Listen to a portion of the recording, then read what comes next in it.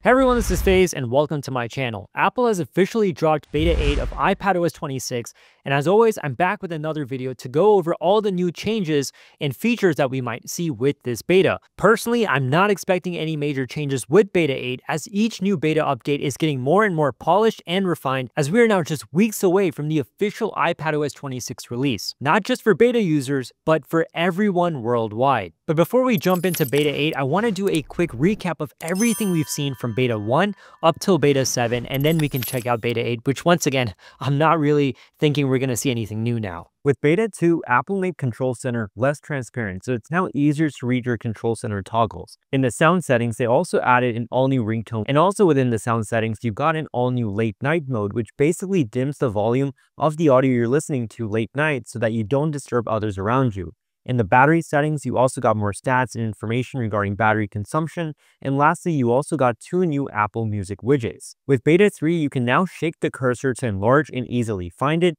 which is identical to that on a Mac. We also got the stock iPadOS 26 wallpaper in three additional color schemes. However, one puzzling thing about Beta 3 was that Apple drastically reduced the liquid glass effect across many apps, which a lot of users were upset about as it now looked like frosted glass and not the sleek liquid glass aesthetic that Apple initially unveiled.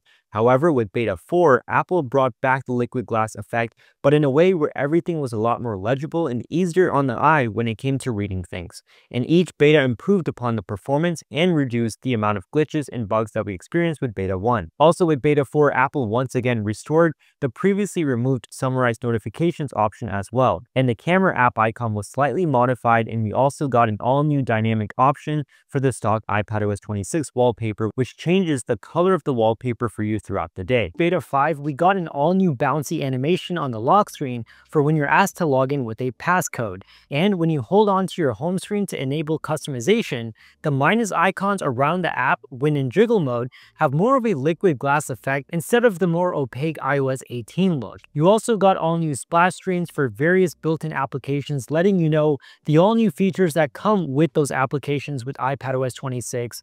In the share sheet, you got an all new airdrop icon that is more vibrant vibrant and looks very nice in my opinion. With Beta 6, we were greeted with an all-new walkthrough video explaining iPadOS 26 and all the new features we got, the liquid glass design, and all the other functionalities that we received with this update. And I'm so glad that Apple is going in this direction and they're giving us this walkthrough video. Another thing with Beta 6 was Apple refining the look of its liquid glass design. For example, the clock on the iPad's lock screen now has a more pronounced liquid glass look.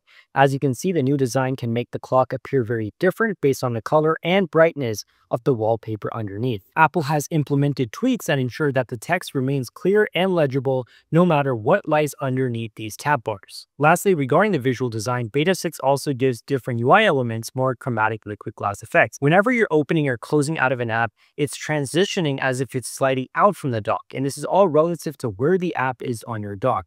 It looks really cool, kind of like a genie effect. We also got all new ringtones, which are different variations of the default Reflections ringtone. And with Beta 7 in Control Center, I noticed that the background kind of darkens more than ever before so that buttons and icons in Control Center stand out and are more legible as well. Also with Beta 7, we got this new animated gesture in the preview app where you can move around the magnifier tool and it moves around the entire screen and really shows off the cool liquid glass effect.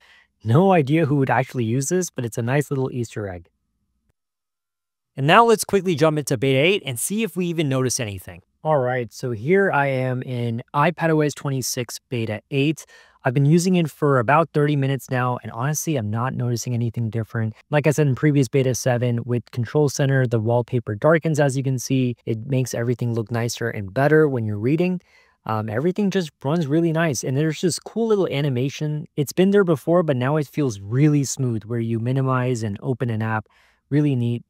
Um, but yeah, other than that, it's really smooth, very stable. Everything opens up really quickly and everything looks really nice. The way the colors and the background looks as you're scrolling through the tab bar or what's underneath the tab bar looks really nice. So the liquid glass is here to stay and everything is very fast and smooth. All right, so with Beta 8, as expected, there isn't anything new. Apple just wants to make sure that everything is stable and running smoothly for the official release. Last week, I said everything feels a lot more refined and polished, and to be honest, that's kind of what I can say now as well. Everything feels a lot more stable.